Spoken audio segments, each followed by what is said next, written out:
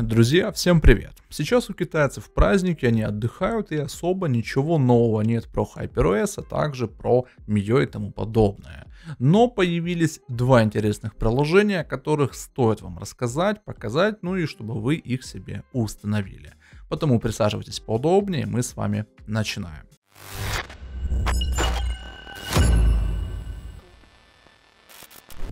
Что же, у нас подопытным будет смартфон Xiaomi 13T под управлением еще MIUI 14. Кстати, да, на него есть как бы бета HyperOS, еще пока что я сюда ее не ставил, но в планах, возможно, будет это все дело провернуть и, наверное, запишу для вас видеоролик, покажу, что же на примере данного устройства можно получить. Но сегодняшнее видео у нас будет немножечко о другом, а именно о новой версии рабочего стола, которая возвращает нам одну интересную штуку, которая называется у нас поиск. И соответствующий раздел у нас добавляется в настройках рабочего стола. То есть, к примеру, если вы не хотите, чтобы у вас жестом вверх как бы проявлялся контент-центр, ну или же Mi браузер, то вы можете выключить эту всю историю. А если же вы хотите, чтобы у вас поисковик проявлялся, то, пожалуйста, это можно спокойно сделать. Но тут будет один интересный момент. Первый момент будет заключаться в том, что если мы с вами зайдем в раздел приложения, все приложения и выберем системную оболочку, именно так называется рабочий стол в MIUI, с относительно недавнего времени, то мы можем с вами получить вот такую версию, которая ну, на самом является актуальной. Но если у вас цифры вот эти, где 7636 являются как 7750, но и вы считаете, что у вас самая актуальная версия это системной оболочки, то это далеко не так. И для того, чтобы поставить вот эту, которая сейчас перед вашими глазами, вам необходимо будет нажать удалить обновление, но перед этим, как вы захотите удалить обновление, вам необходимо будет сделать резервную копию расположения значков на рабочем столе. Для этого заходите в раздел резервирования и восстановления мобильного устройства устройства, вводите пароль и вот здесь убираете эти галочки и раскрываете раздел под названием «Другие системные приложения». После чего выбираете системная оболочка и можете смело откатывать. Так вот, когда мы с вами поставили, да, кстати, в описании будет ссылка на эту версию MIUI Launcher, ну и, соответственно, на актуальную версию Poco Launcher и одной еще приколюхи, о которой я вам расскажу далее. И как только мы делаем свайп на рабочем столе вниз, мы получаем тот самый поисковик, который в свое время, ну, многих так заинтересовал, наделал шуму. И также еще, если вы смените локальный регион на Индонезию, у вас появятся еще большие папки. В моем случае, к сожалению, это не проявилось, но, возможно, очередные баги, приколы MIUI, и, как бы, возможно, через энное какое-то время они все же проявятся. В любом случае, новая версия рабочего стола является очень крутой, потому что оптимизация информацию реально разработчики завозят.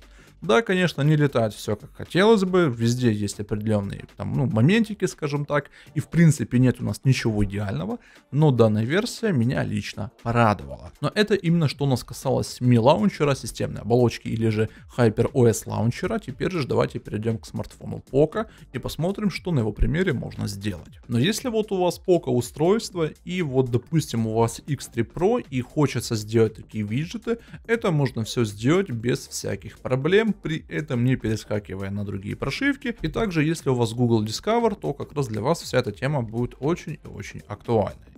Что вообще собой оно является? Ну, во-первых, давайте с вами ознакомимся с тем, что это у нас устройство Poco X3 Pro, самая последняя MIUI 14, которая на него присутствует, и вот такая версия Poco Launcher, которая также является для этого аппарата актуальной, ну и в принципе для всех Poco устройств. И что же вам необходимо сделать для получения такой красоты? Конечно же, идем с вами в раздел о телефоне, резервирование и восстановление мобильного устройства, и как я показывал по аналогии с MIUI Launcher, делаем делаем резервирование нашего рабочего стола. То есть тут нажимаем на Poco Launcher и выбираем создать резервную копию.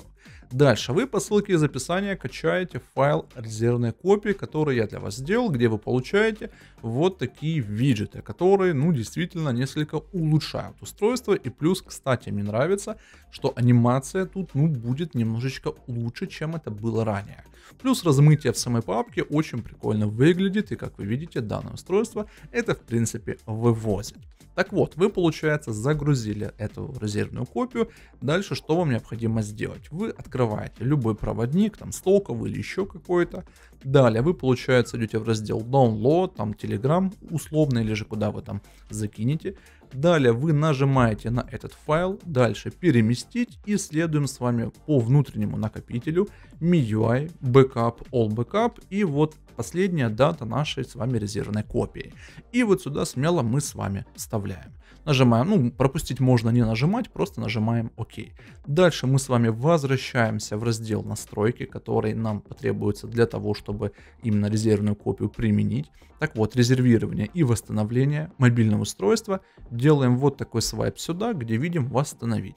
И после чего от нашей той даты, по которой мы делали резервную копию, и восстанавливаем файл рабочего стола, где вы получите вот такие виджеты. Плюс также еще хотел немножечко остановиться на Poco Launcher, потому что новая версия, она является очень такой интересной, ну как минимум для этого аппарата. Да, тут у нас получается нет дополнительного выбора ленты виджетов, как к примеру это на Poco F5 Pro, но могу отметить, что тут у нас улучшается оптимизация, быстродействие, аппарат чуть-чуть стал себя получше чувствовать, но опять же есть куда еще доработать, но так в целом версия, которая у нас еще датируется от 28 декабря прошлого года, ну, можно рассмотреть к установке и я вам ее могу рекомендовать. Что же, друзья, как я уже в начале этого видео сказал, китайцы сейчас отдыхают и сверх чего-то нового по MIUI или же HyperOS не будет еще как минимум неделю. Потому я думаю, за это время для вас придумаю еще что-нибудь такое интересное, что можно установить на свое устройство, как его там кастомизировать и прокачать.